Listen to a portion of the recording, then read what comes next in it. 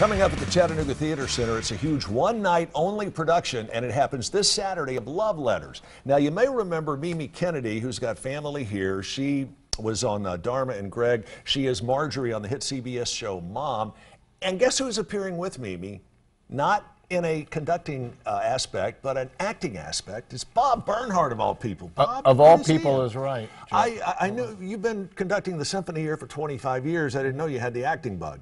Um, neither did I, actually, until Mimi's brother Jim told me that I did. Ah, well, the Kennedys are kind of hard to say no Yeah. to. And, and Mimi Kennedy is here on the phone with us. Mimi, good morning.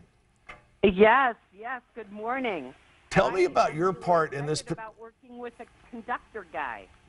yeah, and, and I understand this is a one night performance only, but the two of you have not actually rehearsed together yet. We have not met.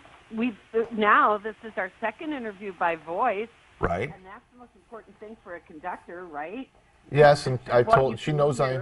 I look a lot better on the telephone, so she's she's, she's prepared. She's prepared.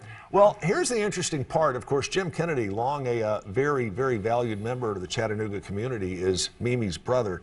You've been rehearsing with Jim Kennedy playing the part of Mimi. Uh, that is correct. Tell no one. Bob, this is getting really It's confusing, it's a even for secret. me. It's a secret. How Jim, is that? Jim and I have been My friends brother has been impersonating me. He has. Down to the clothes and the shoes, Mimi. It's kind of no. I thought we weren't gonna talk about that. Okay, But- we'll, we'll go on to another But subject. Jim is a longtime friend, and uh, he, he he was uh, having a. Uh, we, he asked me if uh, I would take part in this uh, event for the theater center, and I said I'll think about it. Which translates into a yes. When do I start? That's it, and uh, it's been it's it's a it's a little out of my comfort zone, but I have the chance to work with someone who I admire Yeah. and care about so much, and and Mimi, um, can't wait for you to be here. No, I feel the same way. I already know from these interviews that yeah, I'm amazed to hear it's out of your comfort zone, except for I understand that. You know, people who aren't used to talking about, but it's going to be wonderful. In fact, because of the nature of the play, where we're just reading letters that our characters have written, um, it's it's going to be perfect. Actually, I'm excited. How many- It's not how- as if we have to remember lines. That would be terrifying. How That- many that people? would be. How many people are in the production altogether? Uh, it would be let's see, one, two. Two. It just it's just the two of us on stage, and it's the the conceit of this show, which is amazing, is that it's just two people on stage reading letters that they've written to each other throughout their lives. Uh, uh, they've been friends, a little bit more than friends. You do know, Bob, that Mimi Kennedy has been nominated and has won tons of awards and has been in tons of movies, television right. series, and everything else. I, I played baseball when I was young. Yeah, you the did. same We, thing? you know, we talked about the three Bs earlier. that's all I we know got. you- we know you still like that. Uh, Mimi, I got to ask you, how is life on the uh, hit CBS show Mom?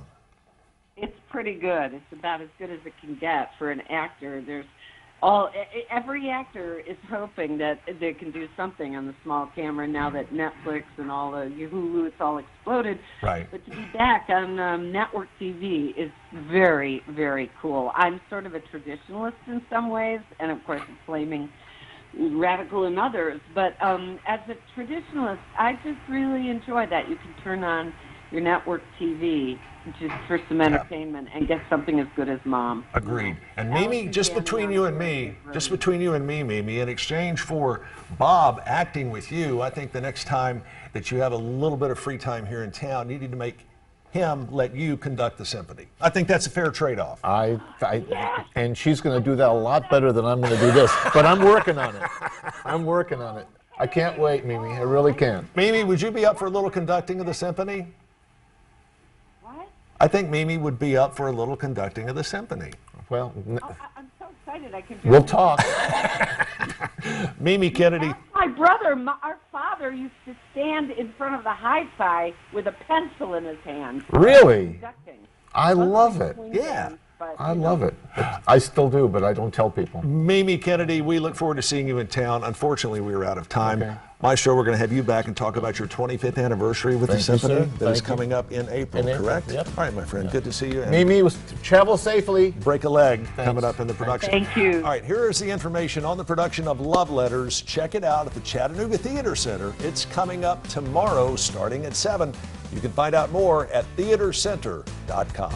Hang in there. More of Let's Chatt coming right up.